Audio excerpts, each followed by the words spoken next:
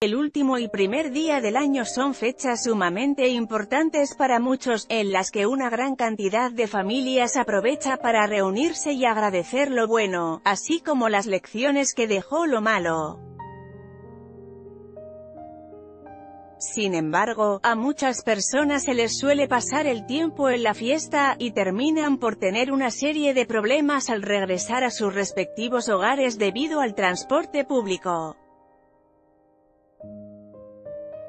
Con el objetivo de evitar contratiempos entre los usuarios, el sistema de transporte colectivo, SCT, Metro y el Metrobús informaron sobre los horarios en los que ofrecerán sus servicios en estos días.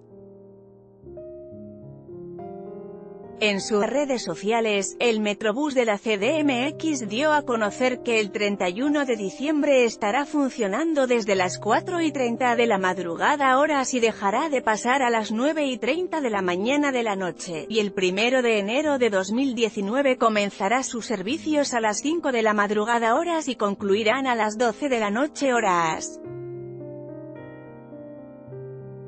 Por su parte, el Metro informó que el horario de sus funciones del 31 de diciembre será desde las 5 de la madrugada a las 11 de la noche horas, lo cual quiere decir que el último tren estará en la estación a las 10 y 30 de la noche horas. El primero de enero, el servicio comenzará más tarde, a las 7 de la mañana, y terminará a las horas.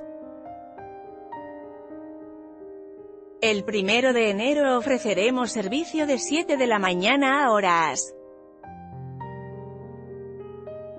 Toma precauciones. pit.twitter.com barra vkcgd39 es metro cdmx arroba metro cdmx December 27, 2018 Tras brindar la anterior información, los servicios de transporte solicitaron a los usuarios a medir el tiempo en el que permanecerán en la calle, pues es mejor prevenir y planear bien los horarios de fiesta para evitar algún episodio de inseguridad.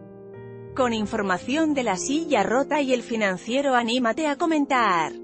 Queremos saber tu opinión. Comentarios Powered by Facebook Comments.